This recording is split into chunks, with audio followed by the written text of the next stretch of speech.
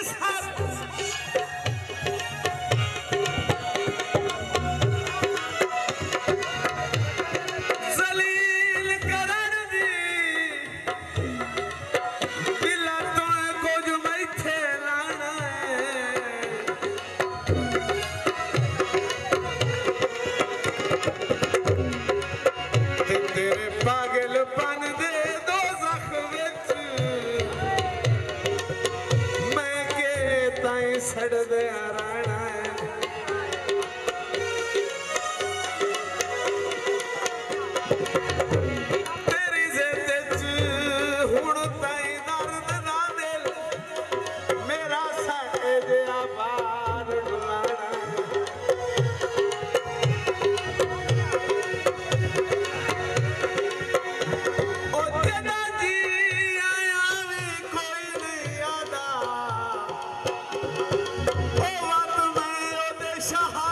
ਟਾਣਾ ਏ।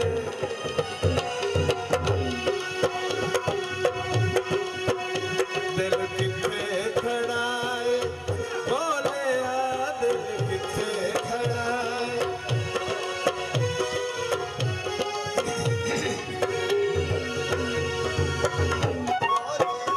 ਦਿਲ ਕਿੱਥੇ ਖੜਾ ਏ? ਉਹ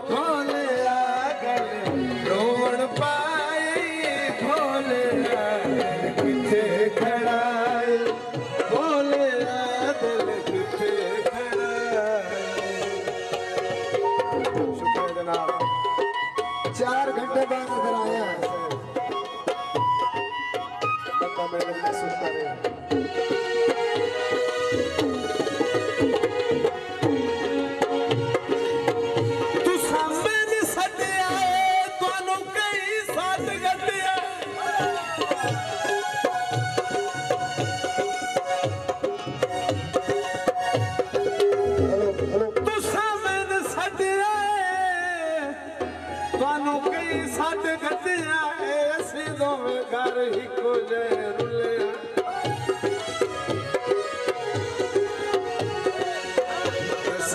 खाई वखीरी।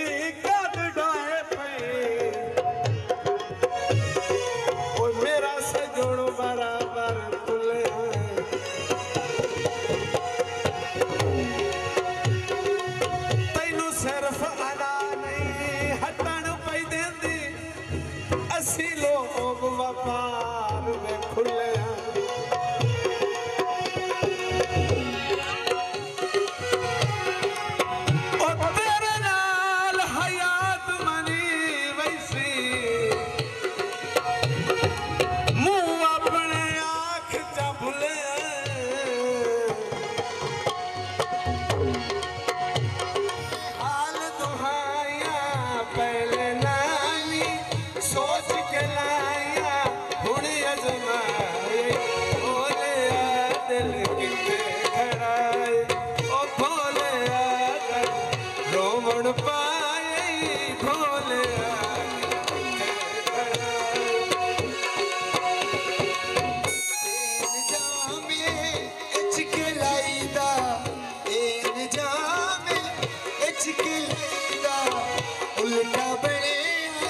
شكرا لخدائي دا ولتابع